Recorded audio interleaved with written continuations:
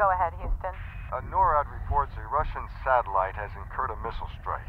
The impact has created a cloud of debris orbiting at 20,000 miles per hour.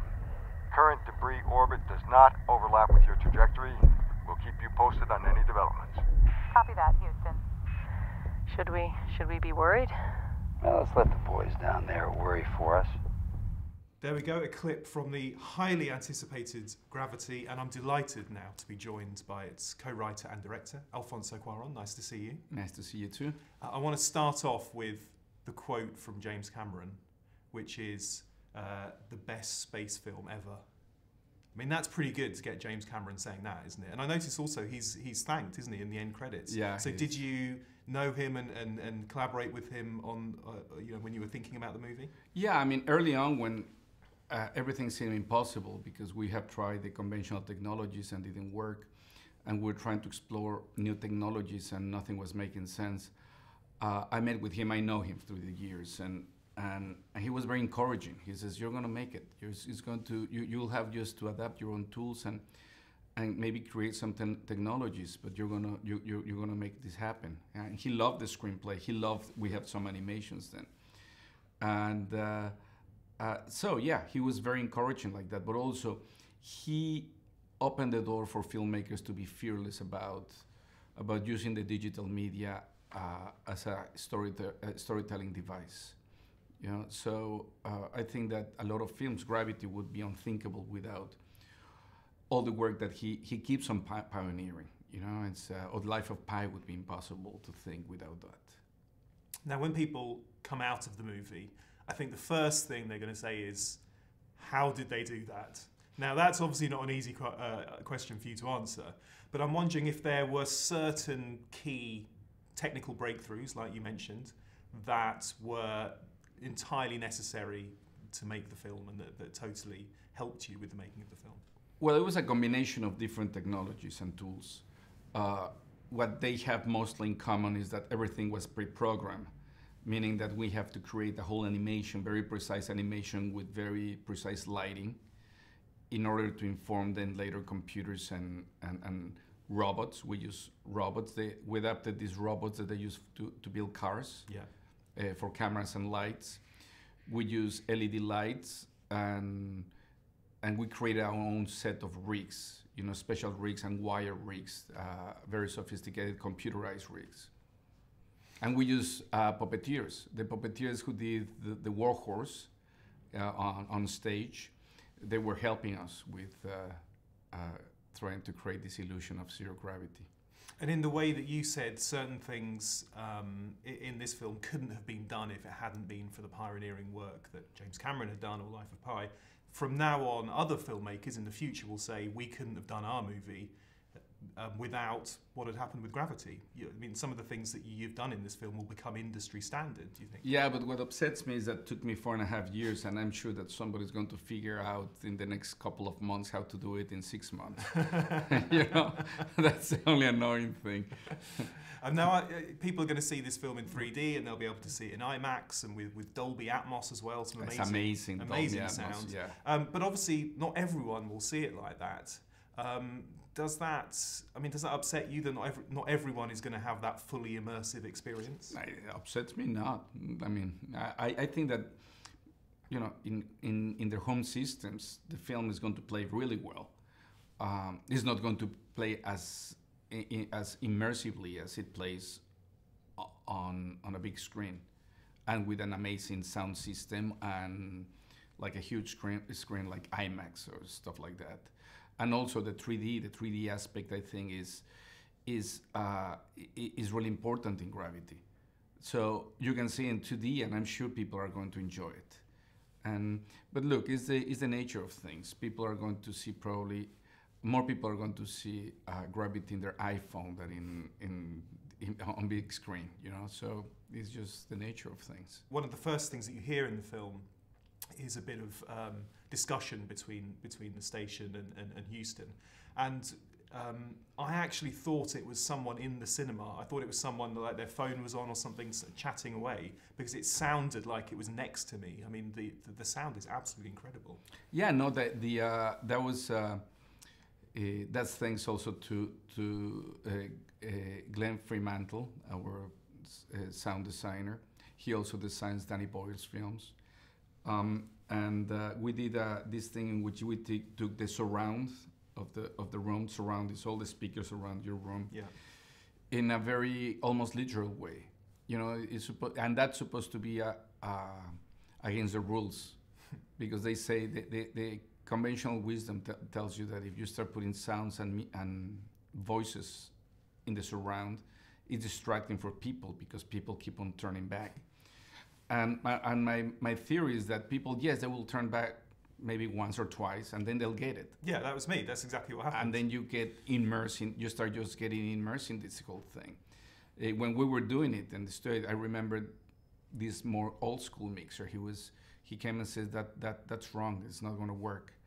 And, uh, and and and my answer is that look if after two or three times say four or five times you keep on turning and you keep on turning all during the film that person is the person that at the end of the film is going to go to the screen and look behind to see if he can look at the actors. you know? So I don't worry so much about that. Uh, is it possible to go back to a time before the production of the film, before you even wrote the script, when you can remember when you first had the idea, just that sort of germ of an idea of, of the movie?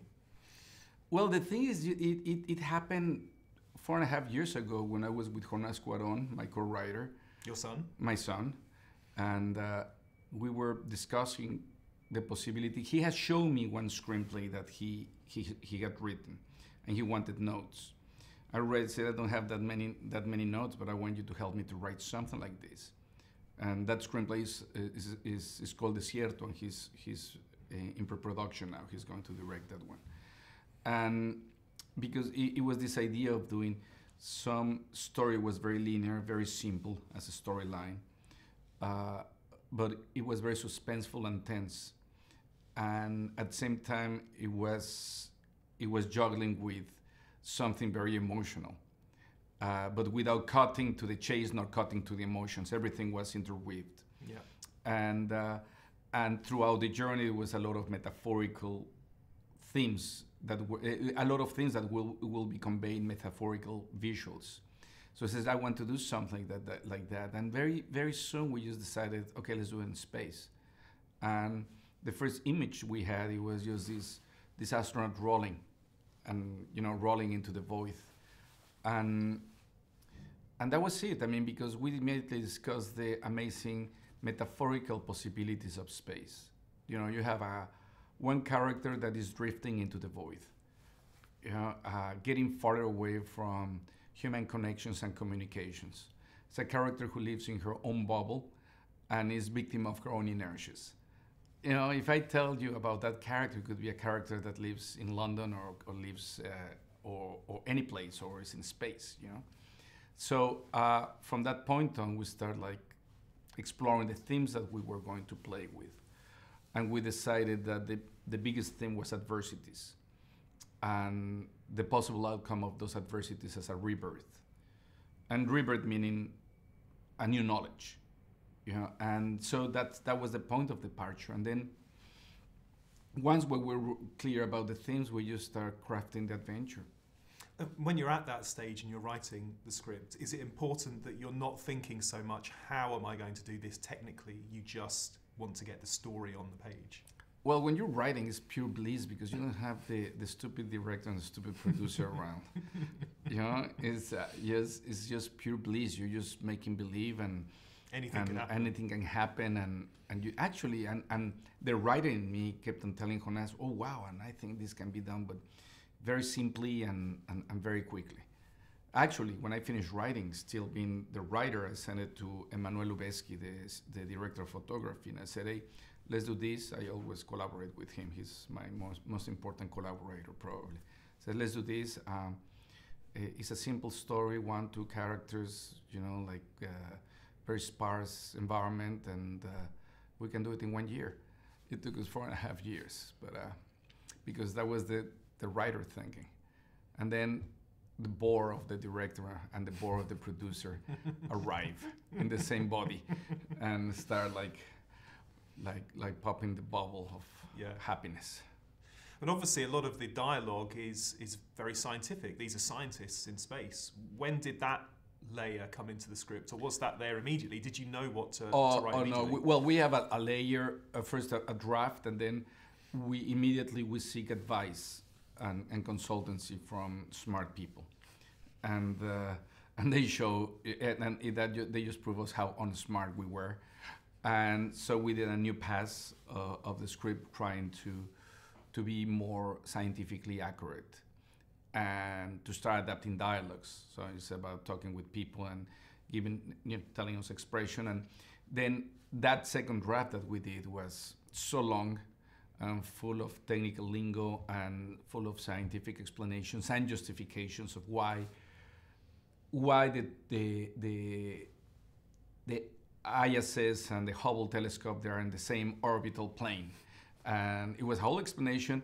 that actually, uh, according to all these people, that that's something that should be done, and in our theory was okay, something that happened.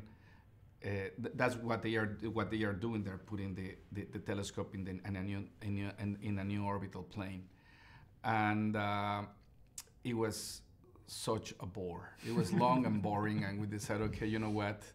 Uh, this is a movie. We're going to use as uh, we're going to be as scientifically accurate, and you're going to use as all the the the, the technological lingo, but only in the frame of our fiction. And that was then we cleaned that that draft, and is the movie that you saw.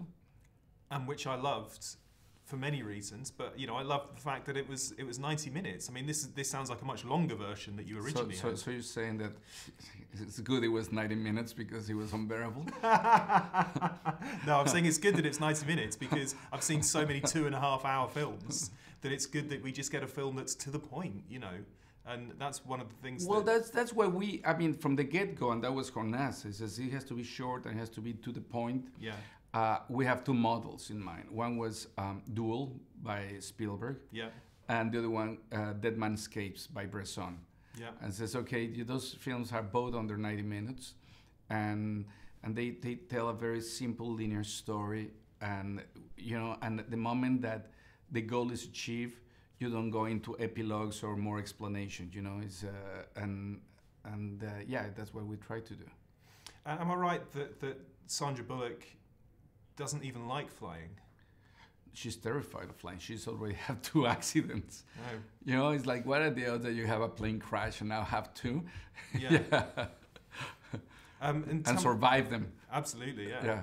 And tell me about then what she had to go through to, to, to, to play um, the character because, um, you know, obviously we see her and she's in space, but what was it actually like in the studio and what was she going through in the studio? Well, she is, is, is really remarkable what she did because she she um, worked out and, and practiced and rehearsed for five months before prior to shooting, and uh, because when she was performing, it was a very abstract experience. She was just surrounded by all this technology.